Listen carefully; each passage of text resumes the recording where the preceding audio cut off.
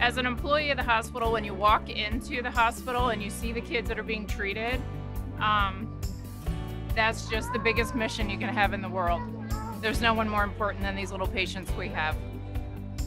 Uh, I, I love the kids being our mission. I've worked for other healthcare systems. It's the first time I've worked for a children's hospital specifically. And it's just a different vibe. I can't really describe it. It's different when your patients are these little people that have their entire lives ahead of them.